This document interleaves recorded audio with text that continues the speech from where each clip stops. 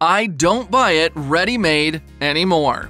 I made cheese in 15 minutes and it turned out amazing.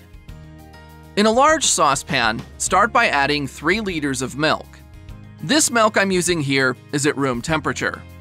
And it is only raw milk. If you use pasteurized milk, it won't work out.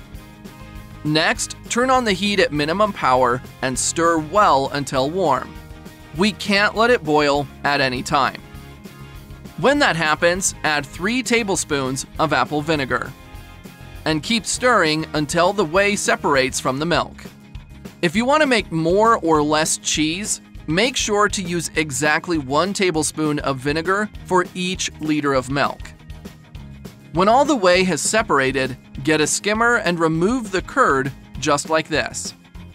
Next, transfer all the curd to a colander placed in a saucepan filled with warm water and knead the curd very well for 5 minutes. Leave us a comment with the name of the city from which you're watching this. I'd like to give you a shout out and thank you for sharing this recipe. During this step, make sure to remove the colander from the water from time to time, just like this. This process will make the cheese melt once heated. After this indicated time, remove from the water and fold by hand a few times. Finally, wrap it in plastic wrap, take it to the fridge, and let it chill for at least one hour. If you've made it here, that means you're enjoying our recipe. So click the share button and share this video with all your friends. It won't cost you anything, but for us, it will make all the difference.